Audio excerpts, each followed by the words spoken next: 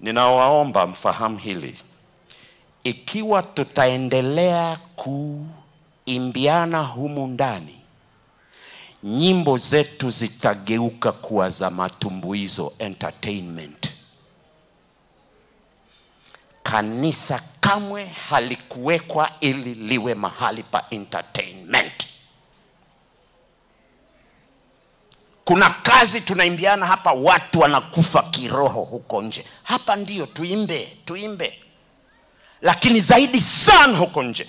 Bunini mbinu buni mbinu buni mbinu kwa jina la yesu.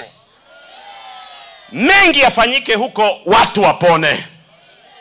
Tuachane na uzoefu tuliokuwa nao traditions mila hizo na desturi. Hapana hazijaendana na mpango wa kazi wa mungu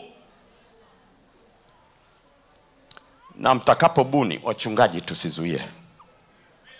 Wazee wa kanisa tusizuie.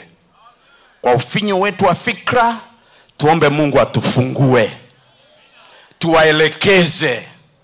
Tuwasaidie. Na maana hii hata kama watakosea na wakosee wakiwa wanajaribu kutoka kwenye uzoefu wa zamani tukuingia katika uzoefu mpya wa kumaliza kazi ya bwana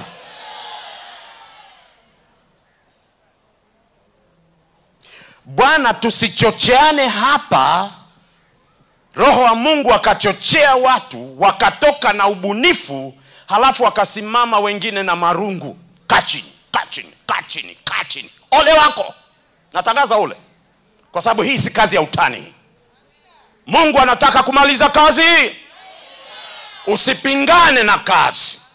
Viongozi wote tumeitwa kuwa facilitators. Sio kucontrol kazi yetu ni kupalilia palilia palilia. Si kukata mizizi. Nazungumza na mimi mwenyewe mchungaji mbwana. Bwana atawatumia. Bwana atafanya makubwa. Acha uvivu acha uzembe